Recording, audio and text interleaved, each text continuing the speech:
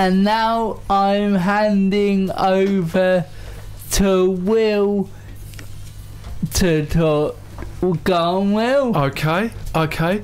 Uh, we we have a guest today, Anna Marie Waite, and uh, I just wanted to introduce this by saying that we've been doing um, a a sort of conference about radio, uh, management theory at work in radio, which we've done in, over the last couple of years, and um, it sort of followed on from manage, management theory at work, which was a, a conference in Lancaster uh, about 10 years ago, um, during which Bron- Bronwyn Rees spoke about uh, mindfulness as part of a management situation.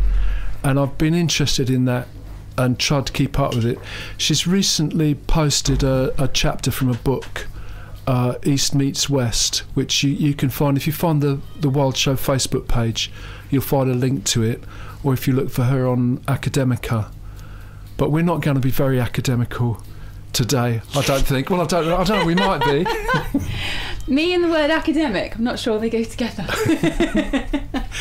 I just mentioned that because I think some of the same ideas are gonna gonna come up uh, in different ways, but in a radio sort of style. I think we're going to do a radio version of uh, a talk about management theory or where we're at. And uh, some people will know you from from doing shows here on Phonic. Would you sort of start off just to remind us what what, what that was all, all I did a show here on a Sunday morning, the early Sunday morning show for about four years, and I gave it up at the end of last year just because I kind of needed a break. But I've got to say, being back, I, it sort of feels like home. Uh, but my show was basically about kind of well-being and creativity, um, and mindfulness featured quite a lot um, in the in the show I was doing then. So, yeah. So thanks for asking me in to talk about it today.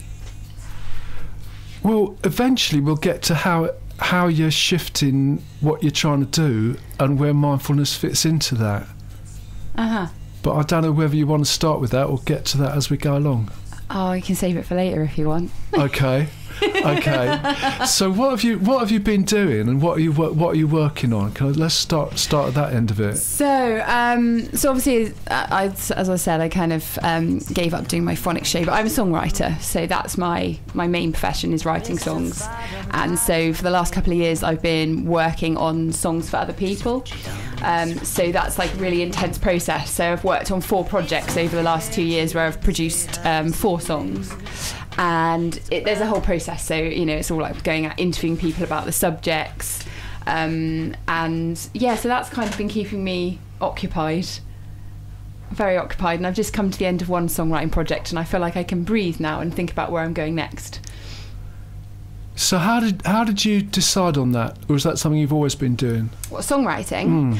Uh, so I started writing songs from the age of four. And I always remember at school writing songs and kind of writing plays and singing, and it's all I ever wanted to. I just wanted to be Kylie Minogue. That was what I wanted to be, and I was just I adored her and I loved her so much.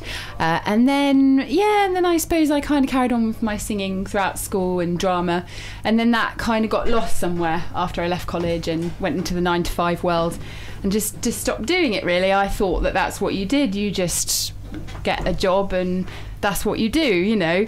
And then when I got to 28, I sort of hit a point where I thought, well, I'm not happy doing this sort of job hopping, never feeling satisfied. And I just decided that I needed to try something new. And that's how I fell into radio. And then that's when I started writing songs again. Um, and so, yeah, I think if that's in you, it never leaves you. But it, it just kind of, yeah, I just feel really blessed that the songwriting came back.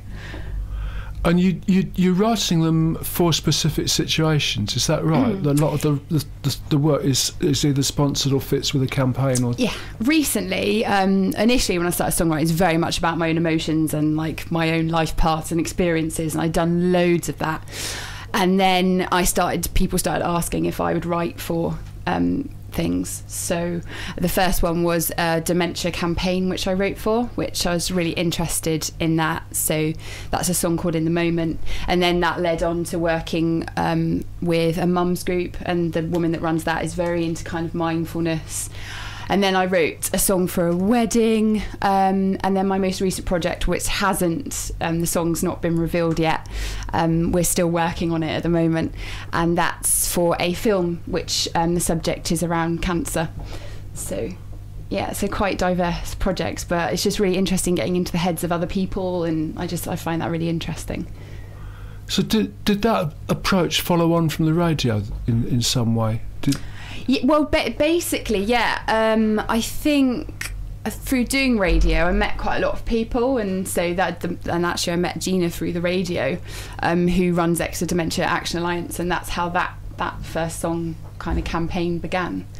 Yeah.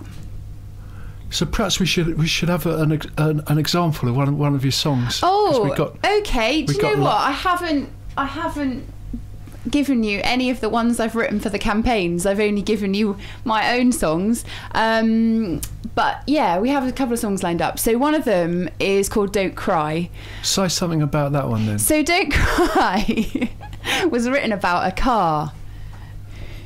Okay. Shall I tell you the story after we hear the song? Okay. Yeah. Do, do, do, do, do, do it that way.